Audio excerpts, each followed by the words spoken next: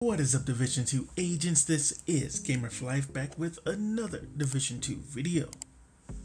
So you can see I am on my lower shade level character. And the one thing about this character we'll go and see is with my library I am needing a lot of stuff maxed out like with my attributes. I either don't have any or you know the ones that I do have I don't have very many maxed out ones.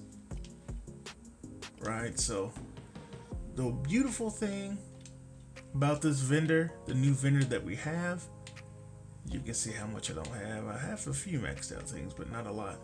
If you saw my recent video going over the vendor, you did see that all of the proficiency caches and the named item caches were completely God rolled. And hopefully that's, you know, how they're going to keep it. But you can see we can buy five of the field proficiency in two named items. And this is going to definitely help us with our library getting some max rolls. As we know, we need those max rolls now because we cannot optimize anything past the value of the attributes we have in our library. Now, first I'll go ahead and show you if you're wondering how do you get textiles. Well, if you look here in the caches, in the standard apparel cache, this is the one that is always there. You're always getting keys for this. So you saw I'm only shade level 125, but I do have 3,300 textiles. And that's because they don't just give you items that you don't have. So it's all random what you get. So a lot of things that I get, even though you can see I, I only have 26 of the 71 items in this cache and I still have 34 keys. And the way you get the keys is just by playing the game. I believe it's every four levels you will get a key. And you can see if I get a duplicate to show you it gives me textiles for that duplicate. So this one is not a duplicate, that's cool.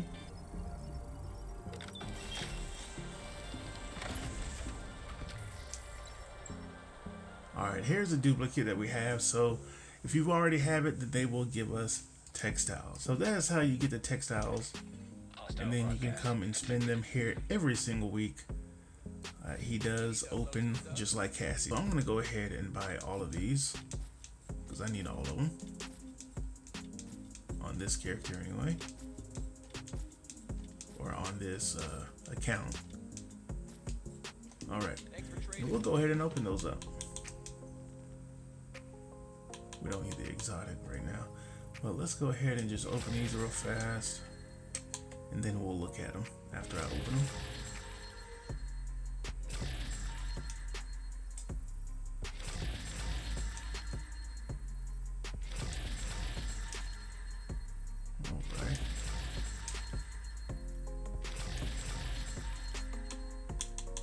This named item. Okay, oh, lefty. I'm probably gonna keep that.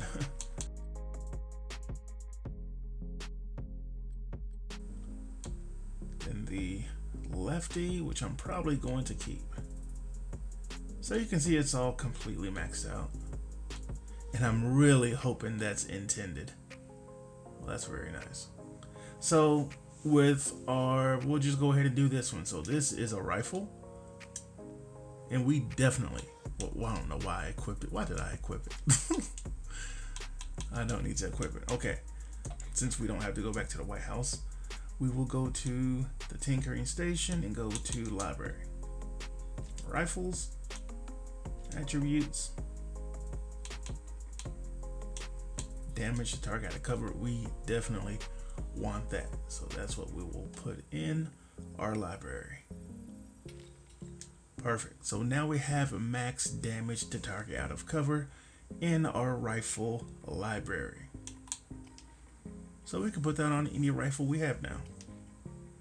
All right, we can take a look at some of gear pieces. That's not one of them. I did do some, some, uh, there we are, farming before I did this.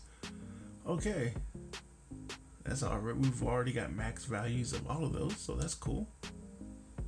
Okay, here's one. We can do that crit chance for sure. Here's that crit chance. Definitely want that crit chance to be maxed out. Cool. So I'm not going to go through everything and do that. I just wanted to show you that this is a beautiful way, especially for lower shade level agents like this account here where, where I am only shade level 125. A beautiful way for us to get some max attributes in our library. All right, my friends, hope that helped anyone out. That's going to do it for this video. Hope you guys are doing good, staying safe out there. And as always, my YouTube family, take it easy.